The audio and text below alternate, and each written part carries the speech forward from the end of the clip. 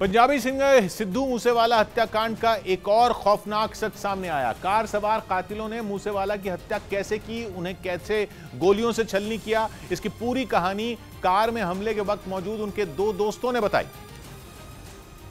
क्योंकि सिद्धू मूसेवाला को जिस वक्त हत्यारों ने ताबड़तोड़ गोलियाँ मारी थीं, उस वक्त उनकी कार में उनके दो साथी गुरविंदर सिंह और गुरप्रीत सिंह भी मौजूद थे। और इन दोनों ने सिद्धू मूसेवाला हत्याकांड से जुड़ी एक एक सच्चाई आम आदमी पार्टी के विधायक गुरप्रीत सिंह बनावली को सुनाई उनका दावा है कि घर से थोड़ी दूर आगे जाते ही मूसेवाला की गाड़ी के पीछे कार लग गई थी जिसके बाद उन्हें खतरे का एहसास हो गया था ਗੱਡੀ ਇਸ ਸਾਈਡ ਤੋਂ ਆ ਰਹੀ ਹੈ ਉਹ ਦੂਸਰੇ ਰਸਤੇ ਤੋਂ ਪਰ ਸਿੱਧੂ ਦੀ ਗੱਡੀ ਉੱਥੋਂ ਨਿਕਲ ਗਈ ਤਾਂ ਉੱਥੋਂ ਕਨਫਰਮ ਹੋ ਗਿਆ ਸੀ ਵੀ ਗੱਡੀ ਇਹ ਕੋਈ ਹੈ ਕੋਈ ਖਤਰਾ गड़बड़ी है। ਗੜਬੜੀ ਆ इससे पहले कि वो कुछ समझ पाते कार सवार हमलावरों ने उनको घेर लिया और फिर उनकी गाड़ी के टायर पर फायरिंग शुरू कर दी मूसेवाला के दोस्तों के मुताबिक वो घबराए नहीं बल्कि उन्होंने हमलावरों पर अपनी पिस्तौल से जवाबी फायरिंग की हालांकि उनके पास दो ही गोलियां थी ਹਾਂ ਜਦੋਂ ਟਾਇਰ 'ਚ ਗੋਲੀ ਵੱਜੀ ਤਾਂ ਸਿੱਧੂ ਅਲਰਟ ਹੋਇਆ ਸਿੱਧੂ ਨੇ ਆਪਦਾ ਅ, ਜਿਹੜਾ ਵੀ ਉਹਦੇ ਕੋਲੇ ਵੈਪਨ ਸੀ 45 ਬੋਰ ਤਾਂ ਉਹਨੇ ਵੈਪਨ ਦੇ ਨਾਲ ਅਲਰਟ ਹੋ ਕੇ ਫਾਇਰ ਵੀ ਕੀਤੇ ਆ ਵੀ लेकिन कहा जा रहा है कि हाईटेक हथियारों से लैस हत्यारों ने उन पर इतनी गोलियां बरसाई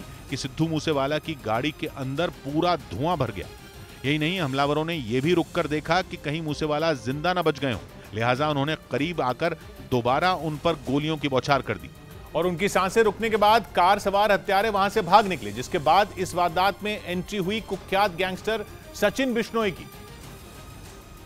और आरोप लगा कि उसी ने अपने गुर्गों के साथ मिलकर दिन दहाड़े इस हत्याकांड को अंजाम दिया।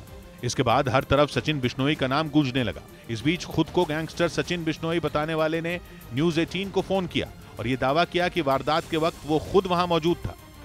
अच्छा सिद्धू मूसेवाला की हत्या में आप भी शामिल हैं? आपने पोस्ट भी डाली थी एक। हाँ मैं शामिल था मैंने अपने हाथों से मारा उसको। मूसेवाला के मर्डर में गैंगस्टर सचिन बिश्नोई पहले दिन से ही शक के घेरे में है और पुलिस उसकी तलाश में जुटी है। सिद्धू मूसेवाला की हत्या क्यों किया आपने? पब्लिसिटी स्टंट है क्यों मारा आपने इतने टॉप सिंगर को? नहीं नहीं उसे किसी पब्लिसिटी स्टंट के या फिरौती के लिए नहीं मारा गया। फिर? ये बात जग ज़ाहिर ये बात जग ज़ाहिर है हम्म। कि उसी ने हमारे भाई विक्की भाई जो थे हमारे उनका मर्डर करवाया था। न्यूज़ 18 से एक्सक्लूसिव बातचीत में सचिन बिश्नोई ने जिस विक्की का नाम लिया वो अकाली दल के युवा नेता विक्की मिडुखेड़ा थे। जिनकी पिछले साल अगस्त में हत्या कर दी गई थी। वही विक्की मिड्डू खेड़ा जिन्हें दिल्ली की तिहाड़ जेल में बंद गैंगस्टर लॉरेंस बिश्नोई का करीबी बताया जाता था और आरोप है कि उनके हत्यारों को, यानी विक्की के हत्यारों को मूसेवाला ने पना दी थी, जिसका बदला बिश्नोई गैंग ने उनसे लिया।